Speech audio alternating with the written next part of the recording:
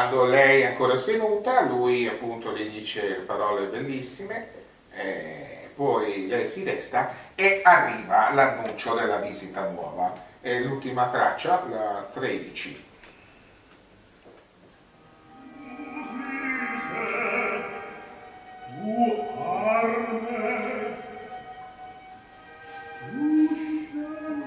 Tu dolce, tu povera, tu la più bella.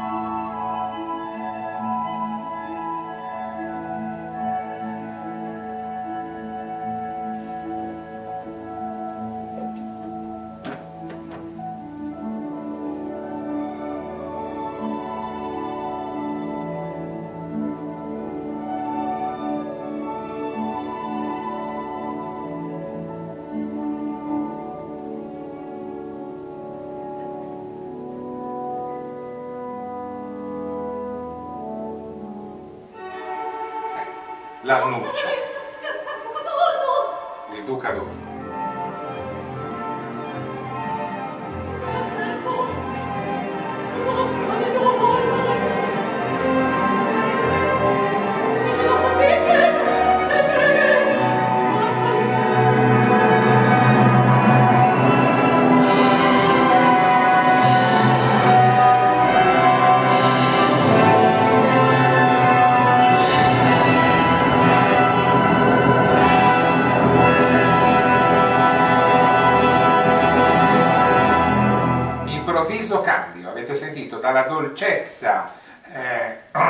Istanti prima si è passati a questo, eh, questo tema potente, violento, in tonalità minore. Qual è questo tema? È il tema di Vitellozzo, perché ricordiamoci che il duca è andato per aiutare Vitellozzo, allora Schrecker ci fa capire appunto la, la volontà del duca di parlare di questo personaggio e ce lo presenta con quest'ultimo tema alla fine del secondo atto.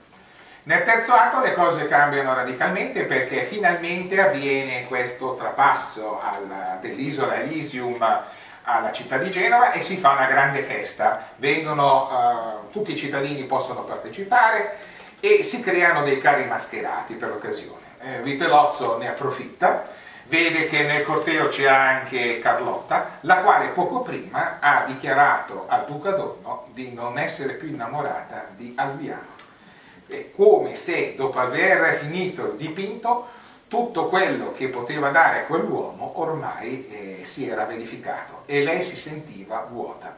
Si sentiva vuota e questo la faceva star male perché comprende che dentro di sé c'è una componente cattiva e dice io non sono una brava persona, lo dice Carlotta al Duca. Il Duca dice ma cosa dice signorina?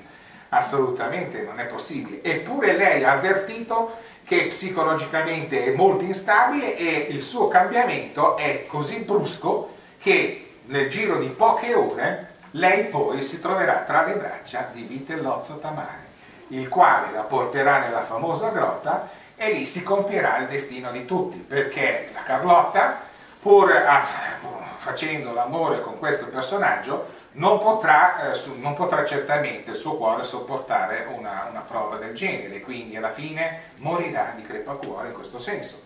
Poi Vitellozzo eh, Tamare verrà pugnalato da Alviano Salvago perché chiaramente una volta scoperto eh, quella, quella posizione, quel luogo tremendo dove si coprivano queste cose, eh, a sentirsi dire che in realtà è lui il vincitore, cioè Vitelozzo, perché lui effettivamente ha potuto possedere questa persona, mentre invece lui non ha fatto altro che amarla in un modo tutto così suo, senza appunto avere questa potenza eh, virile che invece ha espresso il, il baritolo, ecco che allora a questo punto eh, il povero Alviano di fronte all'ultimo atto all'ultimo, eh, cioè eh, possiamo dire rifiuto da parte di Carlotta, non lo vuole più vedere prima di morire, via, via, e ritorna la figura del mostro, quel famoso mostro che lui gli aveva detto, ma se tu lo vedessi cosa diresti? Ecco, adesso lo vede in punto di morte in tutta la sua essenza materiale, non c'è più nulla di spirituale in Alviano negli occhi morenti di Carlotta. Alviano non può resistere a quest'ultimo colpo e impazzisce. E quindi di fronte al pubblico che si fa intorno, lui vaga per la scena dicendo parole sconnesse e alla fine inciampa nel cadavere di Vitellozzo Tamare. E quindi la scena poi si chiude in questo stato di isolamento. Tutti e tre hanno avuto in un certo senso un destino dal quale non hanno potuto far nulla perché Vitelozzo è morto a causa della sua spavalderia, del suo orgoglio e della sua ostinazione nel possedere tutto. Carlotta è morta perché non ha saputo calcolare, non ha saputo eh, nella sua psiche capire quali erano i suoi veri limiti. E Alviano invece è impazzito, non muore ma è come se lo fosse, perché non poteva aspettarsi da un animo così sensibile un capovolgimento così totale e improvviso come ha fatto Carlotta nei suoi confronti. Ecco, quindi la tragedia termina in questo modo. Sentiamo ancora due brani, in prima un brano meraviglioso, appunto il brano in cui Carlotta si scioglie e si intitola A welche Nacht, cioè a quale notte, perché attenzione che nel terzo atto tutto si consuma durante una serata, una, perché tutto avviene di notte in questo senso. Allora, prendi pure questo CD. Scusa, eh, sì? Eh, ma sì. non ho capito bene, sì. perché il cambiamento di Carlotta? Sì, perché il cambiamento di Carlotta? Sì. sì. Eh beh, lì bello. Eh, appunto. Cioè, tu pensi che una persona razionale, abituata tutti i giorni a fare le stesse cose, possa avere un'impennata di questo tipo? Il bello della caratteristica di Carlotta è che in realtà lei aveva queste due anime dentro di sé. C'era l'anima in cui, eh, appunto, della raffinata pittrice, quindi la persona gentilissima che cercava qualcosa che andava oltre le apparenze, oltre le cose estetiche. Lei non cercava il, il bello estetico, cercava il bello dell'anima e quindi l'ha dichiarato. Eppure poi di fronte alla bellezza fisica manifestata dal famoso Vitellozzo, quindi dal seduttore che eh, lei, per lei ha avuto un richiamo irresistibile, no? quindi combattuta tra questi due spiriti dentro di sé, alla fine ha vinto l'ultimo, che gli è stato fatale perché appunto non ha calcolato che comunque lei era una persona malata malata fisicamente, di cuore. Eh, ecco. Quindi è stata la causa, ma il problema suo è che viveva in questi due mondi che erano, le appartenevano ugualmente, un'eccessiva eh, tensione verso eh, dire, questa raffinatezza dell'arte che la portava a cercare spiriti, eh, animi e non corpi e poi però anche l'attrazione fatale per un corpo invece eh, bello che potesse in qualche modo soddisfare le sue esigenze. No? Ecco qual è la psicologia particolare del personaggio Carlotta. Sentiamo l'aria del Kenacht, eh, dunque, qual è la traccia? È la traccia 5.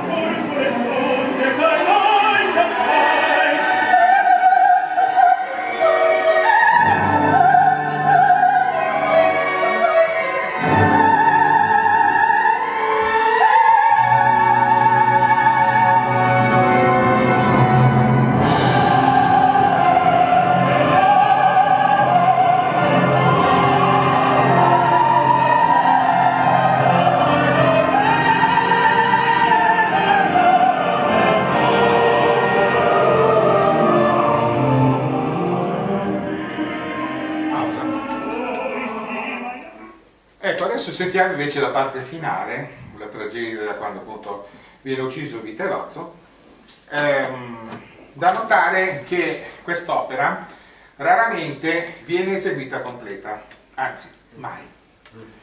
Eh, l'ultima volta che è stata eseguita eh, completa quasi completa è stata nel 2007 ad Amsterdam, hanno tolto pochi minuti per fortuna dal terzo atto. Ma generalmente in Austria, e questo è un vizio che ha preso Salisburgo nel 1984, tagliano 30 minuti del terzo atto. 30 minuti. Vi rendete conto? Perché dicono ma sì tanto togliamo tutta la parte iniziale quando arrivano i visitatori di Genova e poi però alla fine tagliano anche una parte del coro che partecipa all'uccisione di Vitellozzo, e quella dura soltanto pochi istanti, non vedo perché. Comunque hanno preso questa, eh, questa inclinazione. Tant'è vero che l'unico video esistente che c'è di quest'opera, realizzato nel, 2006, nel 2005 al Festival di Salisburgo estivo, con direzione di Kent Nagano, segue appunto queste regole che furono eh, in qualche modo fissate nella prima esecuzione di Salisburgo del 1984, allora diretta da Gerd Albrecht. Quindi l'opera di Gezagrite viene mutilata di quasi 40 minuti secondo questa esecuzione. Io ad Amsterdam per fortuna ho visto una mutilazione di solo 15 minuti.